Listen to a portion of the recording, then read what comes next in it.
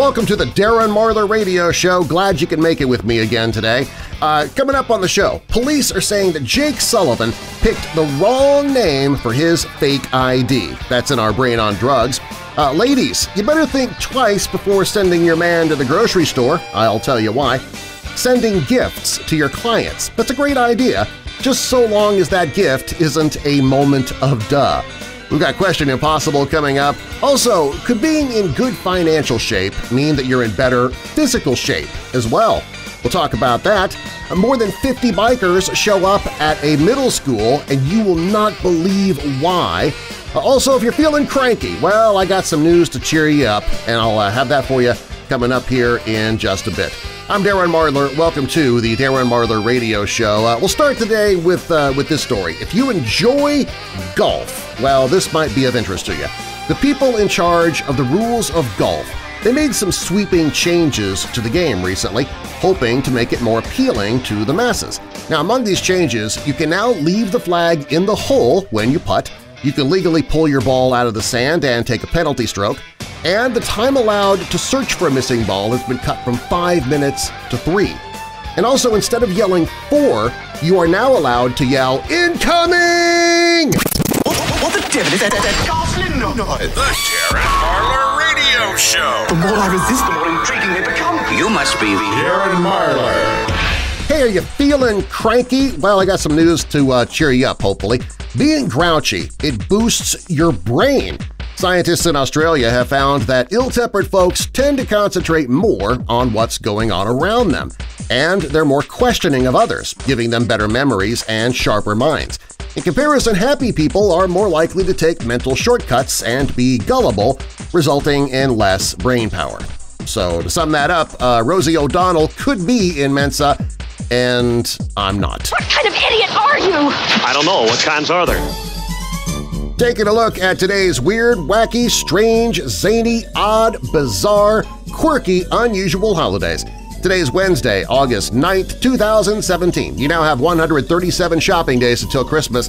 Pretty short list today, actually. Uh, today is National Hand-Holding Day, which is really tough to do when you're here trying to push buttons to play commercials and songs on the radio. And it's National Rice Pudding Day. Uh, okay, you know what, forget holding hands. Uh, if you want to force me to eat rice pudding, you'll be holding my nose. Ugh, what does that taste like? More than 50 bikers, they showed up at a middle school recently, but you will not believe why. I have that story for you coming up. I'm Darren Marlar, and uh, for a few laughs after the show, you might want to check out my daily dose of weird news. I post a new episode every weekday, and hopefully, if nothing else, it'll bring a smile to your day, but hopefully a few laughs too. You can find that at darrenmarlar.com. Well, Christy Gall, she pulled up Facebook on her computer recently to post a desperate plea.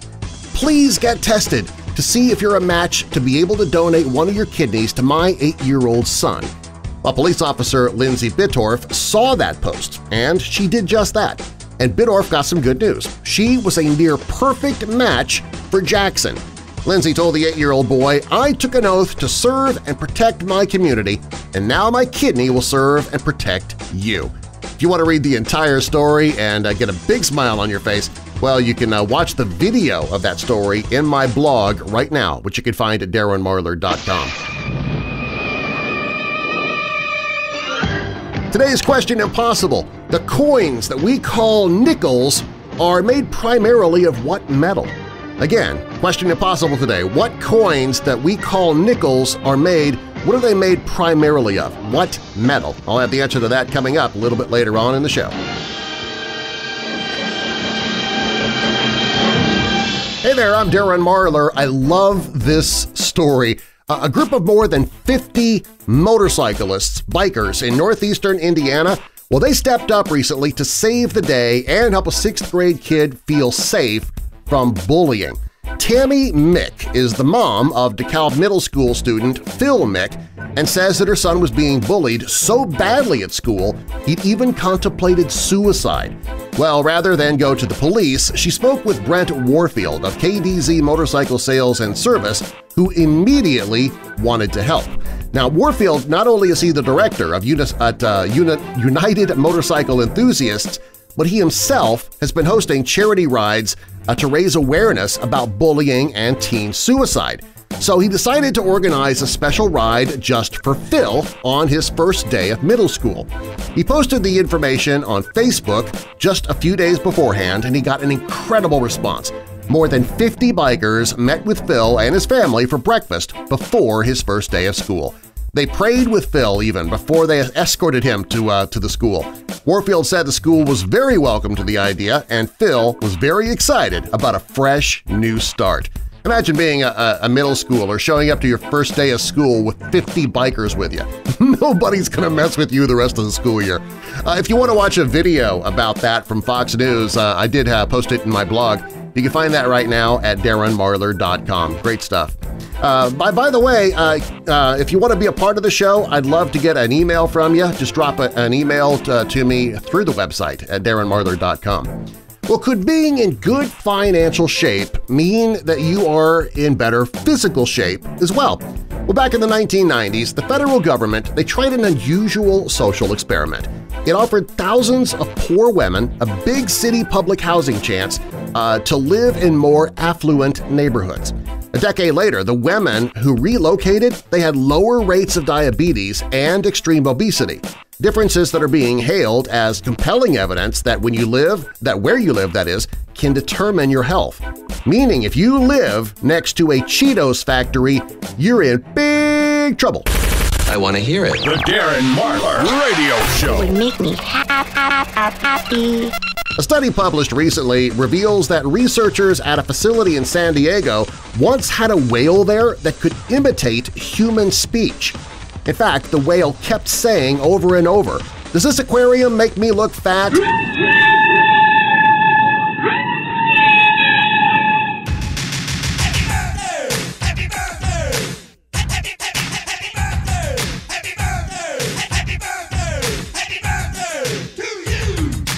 Taking a look at today's birthday wrap-up, actress Gillian Anderson from The X-Files is 49 today, and from Working Girl, Shining Through, Melanie Griffith is 60.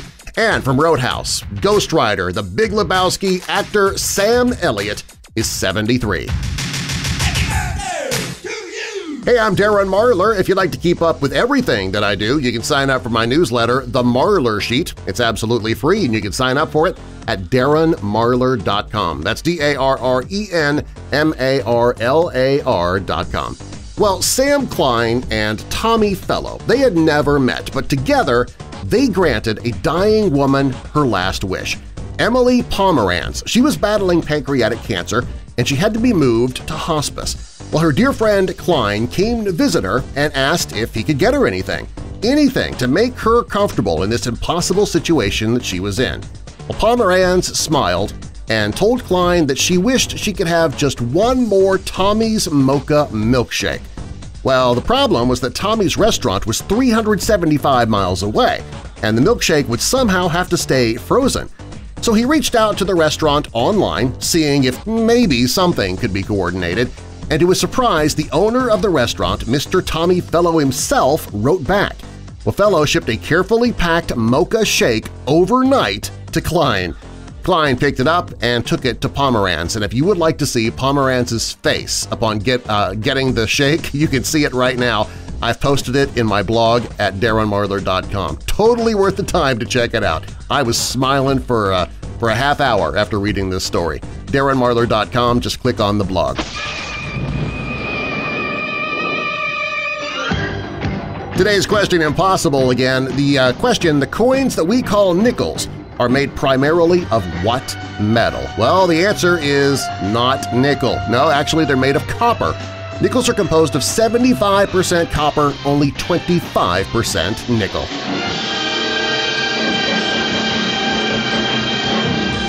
L'Oreal is predicting that very soon there will be male cosmetic counters popping up in stores. All right, that's it. You know what? I am starting a GoFundMe campaign to raise enough money to buy an island so I can get away from these creeps. Donors to the campaign, you get to come with me. Identify yourself. You're listening to Here's the deal. It's about time. Is everyone ready? Ready? The Master of Ceremony. The Darren Marlar Radio Show. Crank up the radio. radio. Sending gifts to your client is a great idea, just so long as the gift isn't a big moment of duh. That story coming up. I'm Darren Marlar, and well, you can forget the fancy diets. A recent study says that if you want to lose weight, just eat lots of tomatoes. The juicy fruit is thought to be rich in compounds that take away hunger pangs and suppress the urge to snack, which is one of the biggest battles for slimmers. British researchers believe that the magical ingredient that suppresses the appetite is the pigment lycopene, which gives tomatoes their red color. Well, okay, well then pizza sauce. I mean, that has a lot of tomatoes in it, right? I should be dropping the pounds already. Hello, I would like to order 19 large pizzas and 67 cans of soda And where would you like them delivered? To the Southwood Psychiatric Hospital. To the psychiatric hospital. That's right. Uh, I'm an FBI agent. You're an FBI agent. That's correct. Just about everybody here is. You're, you're an FBI agent? That's correct. And you're at the psychiatric hospital? That's right. And make sure you don't go through the front doors. We have them locked. You'll have to go around to the back to the service entrance to deliver the pizzas. and you say you're all FBI agents? That's right. Uh, how soon can you have them here? You're over at Southwood? That's right. How soon can you have them here? And everyone at Southwood is an FBI agent. That's right. We've been here all day and we're starving. Um, how, how are you going to pay for this? I have my checkbook right here. And you're all FBI agents. That's right. Everyone here is an FBI agent. Can you remember to bring the pizzas and sodas to the service entrance in the rear? We have the front doors locked. I don't. Walt Disney Studios is developing a reboot of the 1991 action-adventure movie The Rocketeer. The project, in the early development stages, it's considered a sequel-slash-reboot, and it's a modern-day twist. It'll be headlined by a black female character. Yes, because the gender swap idea was so successful in Ghostbusters. I ain't afraid of no.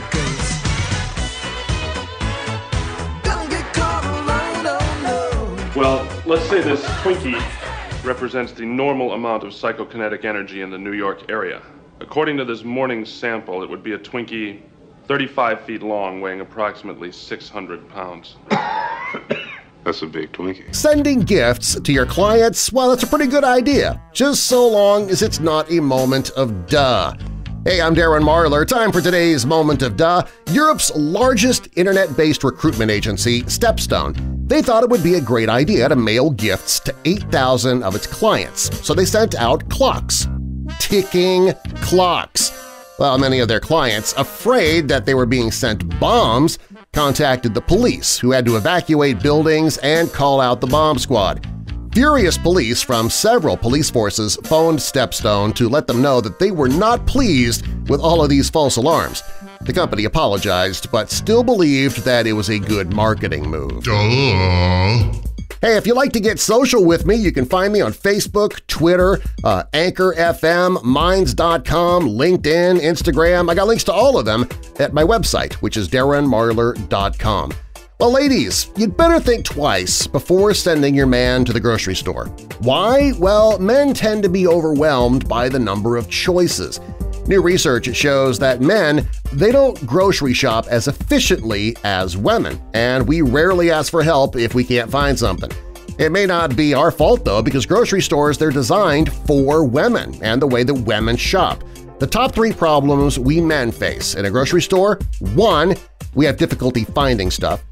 Two, if something is on the list and it's not available, well, we're not all that adept at finding a substitute, so we'll end up coming home empty.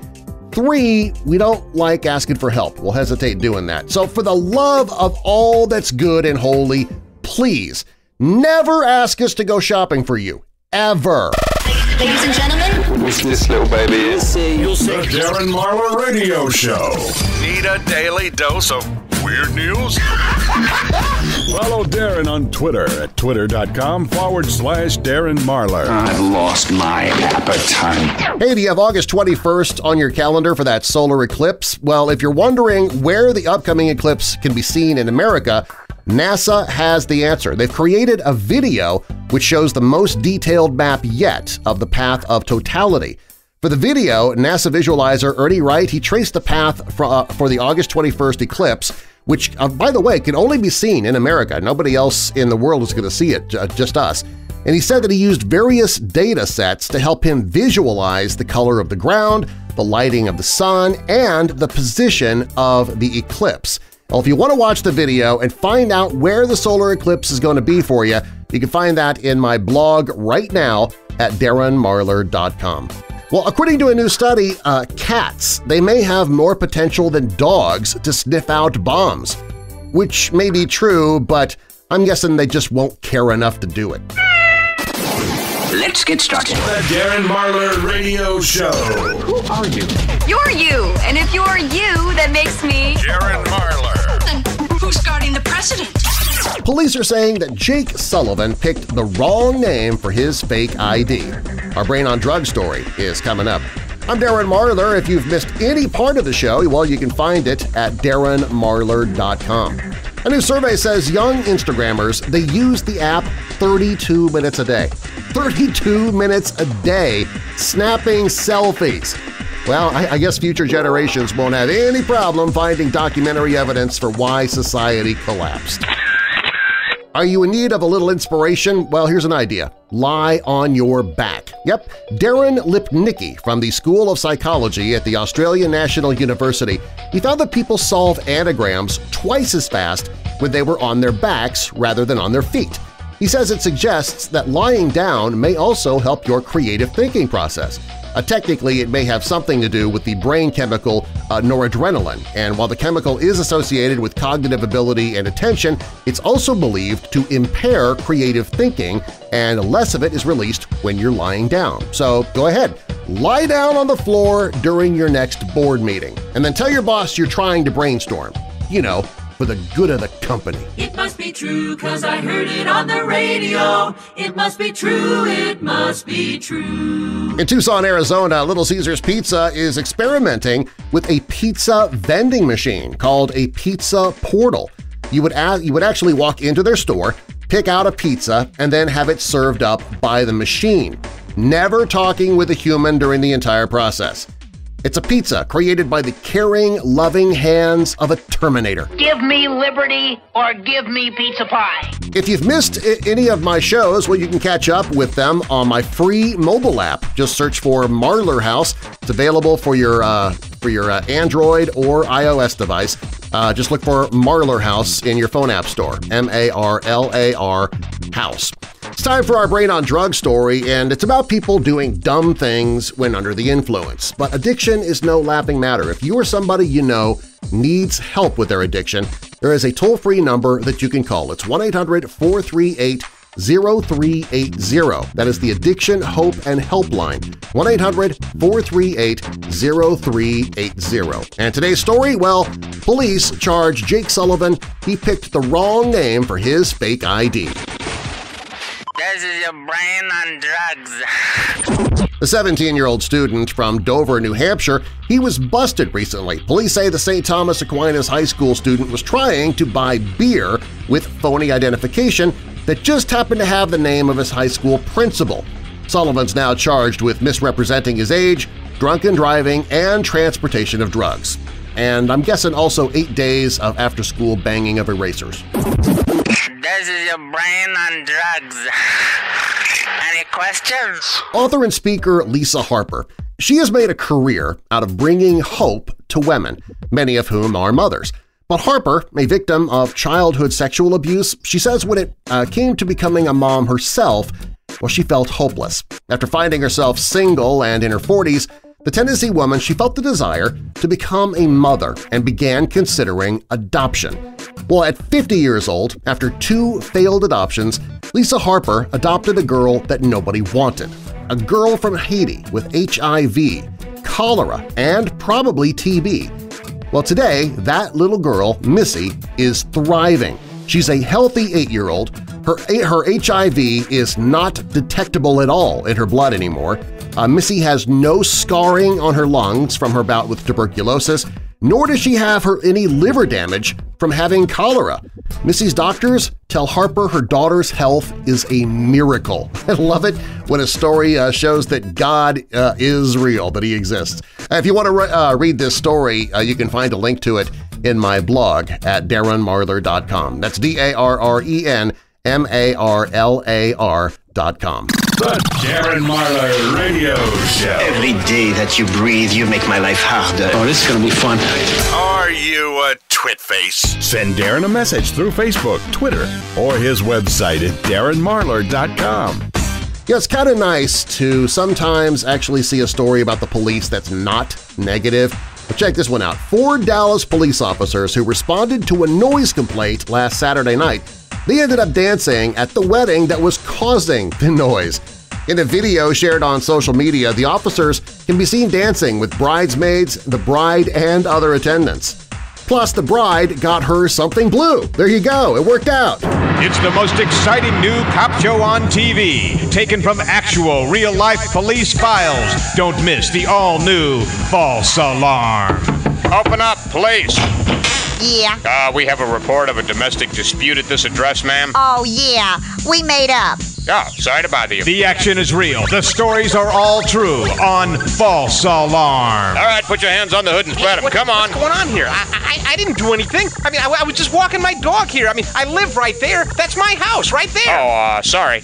Have a nice day. Don't miss the most realistic cop show on TV. False Alarm. It's so real you won't believe your eyes. Well, it looks like we got you this time, punk. This is enough cocaine here to put you away for 10 years. Uh, Bob, this isn't coke. It's sugar. Really? hey, thanks a lot for joining me today on the show. I appreciate it. And I'm going to leave you today with this thought.